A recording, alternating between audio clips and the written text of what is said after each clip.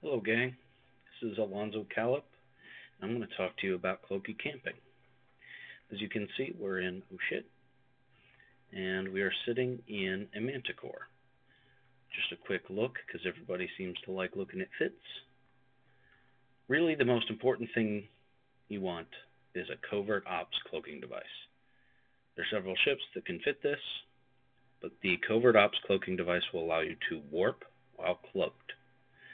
There are other couple bonuses that you can also fit onto these ships. You can carry the covert cynosural field generator. This is your covert cyno.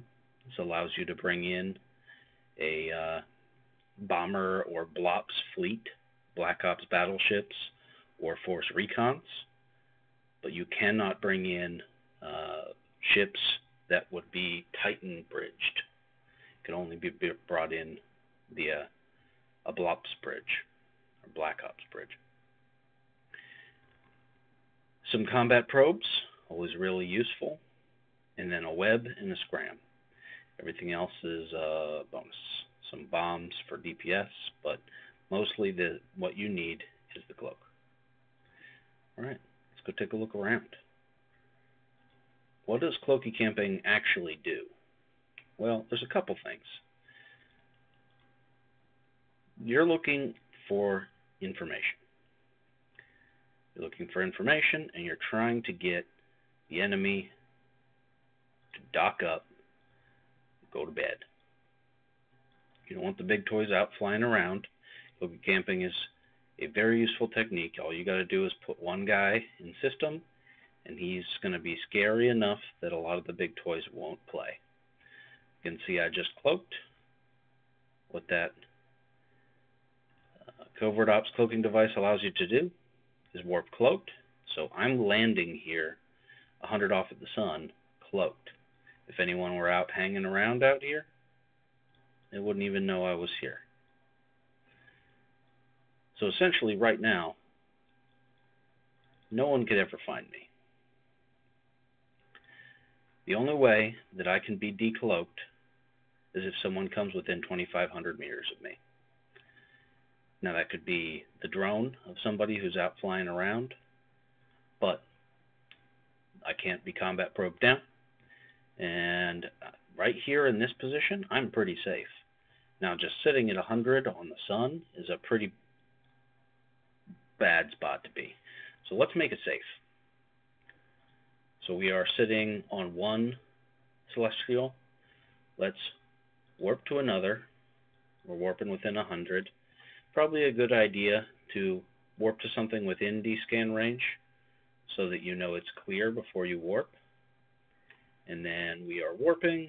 I'm going to drop a bookmark, call it safe, and drop it.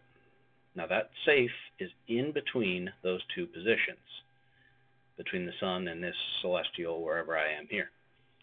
Now if I want to be really cool, I can just go to my locations, safe, warp to within zero. If you want to do that really fast, you can just hit the L button. That'll bring in your tax. So I'm back at my safe location. Now I could just go make lunch. That doesn't uh, really provide me with much value, but my presence in the area is a threat. So, what can we do that isn't just taking a nap? Let's look at the intel we might be able to gather. Now, when I'm talking about intel, we don't want just extra BS information. We want actionable intelligence, something good that our FCs and our leadership team might be able to work off of to, I don't know, um, Find a a Titan if it's logged in. Find a BLOPS bridge or a Black Ops battleship if it's logged in. Um, how do we get to that? How do we distill that information just by sitting on the screen right here? So we have 61 in local. 61 in local. A lot of these guys are bads, big bads. In it, guys.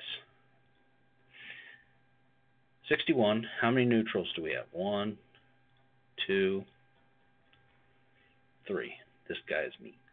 So we have 58, uh, not including the neutrals. How many friends do we have? Well, we've got me, uh, another, so two, three, three friends. So that puts our total number at 55. So we're looking at 55 init dudes. Where are these guys at? What are they doing? All right, so I happen to know a little bit about this system. We're just going to go back within the range of the keep. Again, it's a good idea if you want to be super safe while you're warping around. Jump celestial to celestial within D-scan range so that you know they're clear before you land. Don't go back to a saved tack if you had landed there decloaked because somebody could have combat scanned you down and then saved that tack into their personal folders. So we've got a warp disruptor, but that's probably on the UQ, UQ gate. You can see how how often I'm descanning. It's something that you you you need to pick up on. Kind of think about it as your uh, early warning system. That stabber was the guy that just warped off over there. But from this position, we have some information on this Fortizar. This Fortizar is interesting. Let's go check it out. We know that this bubble right here is on that gate, so we're just not going to warp back to the gate from that Fortizar. And we don't see anything else. The Fortizar was within D-scan range, so we can warp to within 100 safely. So let's go sit on that Fortizar and see what we can see.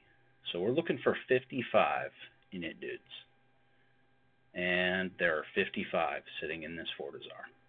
So there is nothing else in this space, in this system, for us to find. So that's a quick trick, a little bit of math, using local and um, knowing where the staging system is or the staging uh, citadel, just to know if you should be hunting around in the system right now. So it seems that we've got our stabber friend flying around again. so, what else can we do? Well, we know that there are 55 init dudes logged in, sitting in local at 0100. You could take that down as a note. Oh, here's a good one. So there's an arc by Pukit, named Pukit. I missed the name. So we should have gone down by one. If I was saving local, I could have figured out who that guy was. That was real quick. Sorry, guys, I didn't catch it. But we can play the same game still. We can use the information we're getting, local numbers, the number of people sitting in our Fortizar, to uh, to make a sort of a chart of activity, right? So we know it's 0, 100. There are 55 init dudes here. Let's say we log back in, or we go back to that Keepstar and check this system out every hour for the next three days, or um, every couple of hours, every four hours, every eight hours, we could get an idea of when this group has their peak of activity.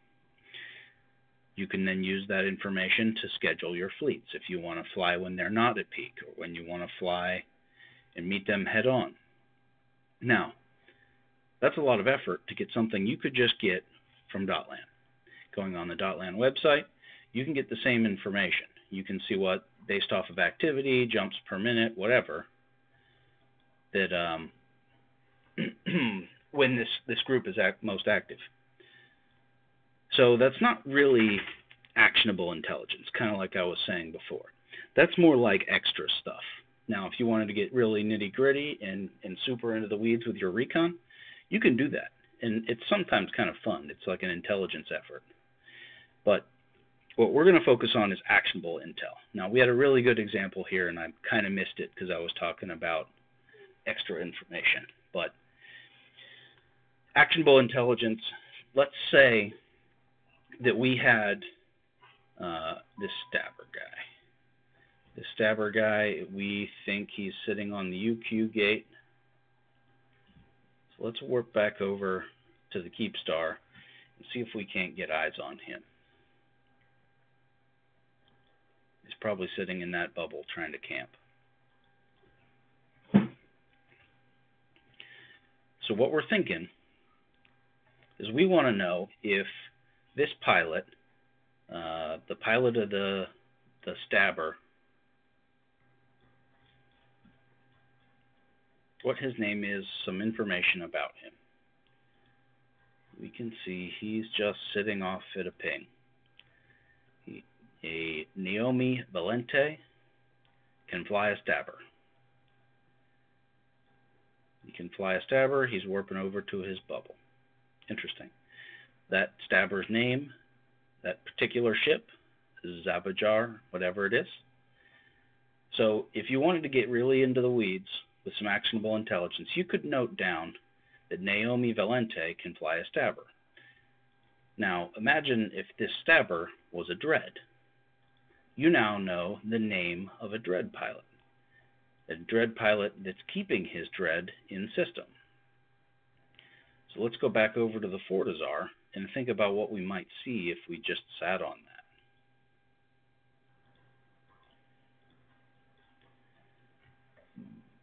Now I keep warping back and forth from the Keepstar to the Fortizar. If these guys were really on the ball, maybe they would drop a bubble, catch me out. So but they don't know where I am. That's the big benefit of the cloak. So they have no idea that I'm sitting here warping back and forth between the Keepstar and their Fortizar. So we're sitting here, keeping eyes on this fort, and we see an arc uh, undock like we did a little bit ago. Okay, that's not a huge indicator of really anything. Just one jump freighter isn't some massive deal. But we could have, real quick, seen the name of that pilot, copied it down, make a little note. I keep a little notepad right here next to me. Say, okay, this pilot can fly an arc.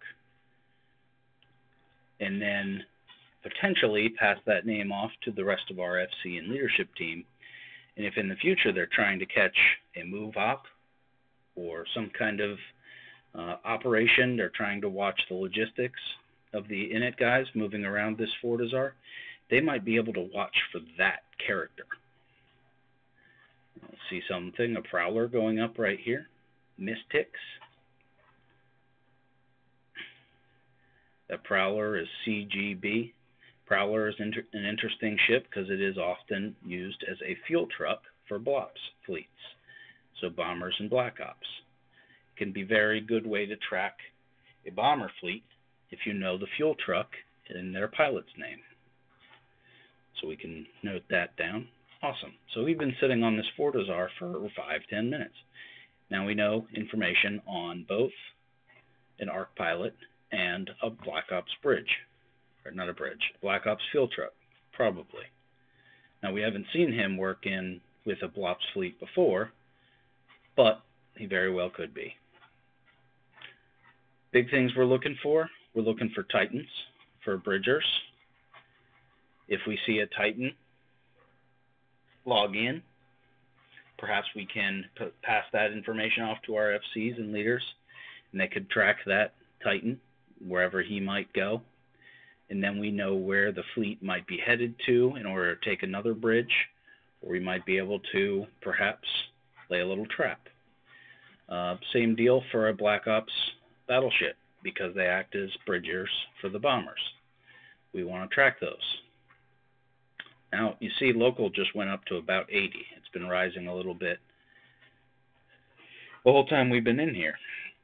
Not really any increase in newts or blues, so I'm expecting most of these to be in the fort, and they are. And you see a slight increase like this, uh, I would imagine that they have some kind of scheduled event coming up, or they have some kind of fleet or they are just coming in and a bunch of them are coming online because it's their normal uh, schedule. So, is this really all Cloaky Camping can do? Is gather intelligence? Well, yeah. I mean, this uh, particular ship is pretty weak. It's a, it's you would say glass cannon, but not really. With bombs, it, you know, I can launch a bomb, but if I die before I warp, that bomb doesn't even explode. So I'm pretty soft.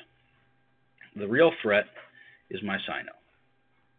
But the Cyno only is a threat if there's a fleet behind it to jump to me. So if you've got a cloaky camper in system, and there really isn't a fleet out there to come get him or to come to him, then you're pretty safe. Now, if I'm actively watching this tune and I see something come in that I want to go get, I can immediately ping my guys, ask them for a fleet, rage form, and I can say, hey, I need to go after this Bifrost, chase him down, scram, web, light Cyno, and in comes the fleet.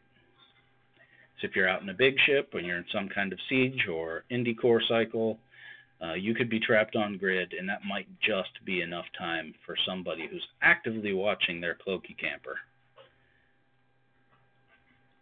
to ping and form something. So, see, now we know that a Munin is staged in this Fortizar. And a couple fun fleets stuff Cheetah, Ares. Uh, we saw the Stabber before.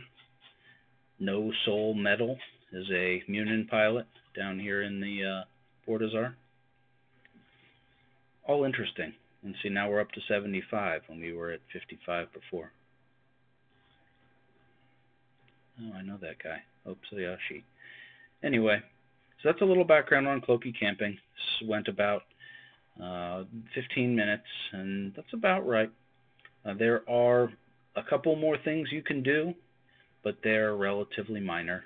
Um, back to our safe location, and I'm going to go get some lunch. Uh, thank you all for tuning in.